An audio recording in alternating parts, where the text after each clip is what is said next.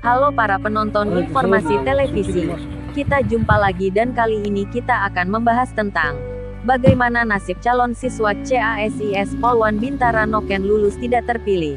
21 orang dari Papua Barat yang terdiri empat orang gerakan mahasiswa nasional Indonesia GMNI cabang Manokwari, tiga orang garda motor jalur merah putih Provinsi Papua Barat, dan 14 kasis Polwan. Mereka datang jauh-jauh dengan biaya mereka pribadi dari Papua Barat ke Jakarta naik kapal laut. Hanya meminta untuk Bapak Kapolri Jenderal Polistio Sigit Prabowo bisa memberikan kebijakan untuk 14 kasis Polwan ini yang sudah dinyatakan lulus tetapi tidak kepilih tahun 2021.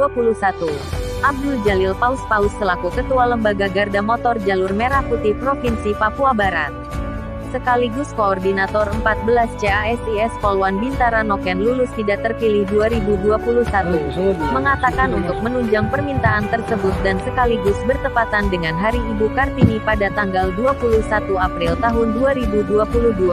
14 kasis Polwan ini akan melakukan aksi baris berbaris di sekitaran di depan Istana Presiden. Dan aksi ini dilakukan untuk meminta tanggapan dari Bapak Kapolri dan melepas rindu dengan Bapak Presiden Jokowi. Kami dari Papua Barat, kami berjumlah 21 orang, terdiri dari uh, empat mahasiswa Gemini cabang Kabupaten Manokwari. Kami dari Lembaga Garda Motor Merah Putih tiga orang, sedangkan chassis yang kami bawa di sini ada 14 orang.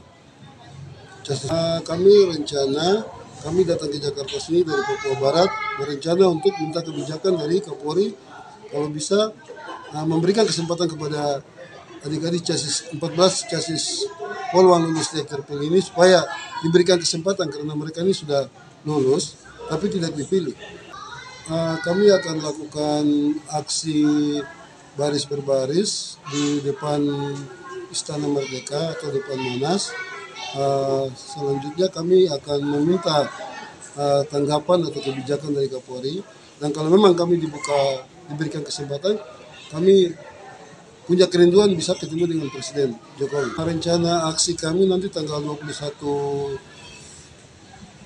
April ini bertepatan dengan Hari Kartini.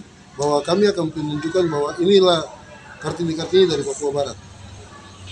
Harapan kami, kami datang dari Papua Barat dengan biaya dan dana swadaya dari anak-anak kami sendiri untuk kami datang dengan melalui kapal.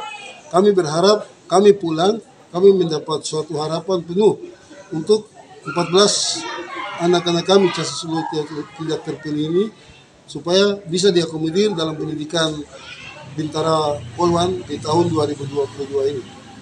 Itu harapan kami selaku Ketua Lembaga Garda Motor Jawa Merah Putih, uh, Gemini Kabupaten Gemini Cabang Kabupaten Manokwari dan orang tua 14 casis dari 12 kabupaten dan satu kota di Papua Barat. Terima kasih.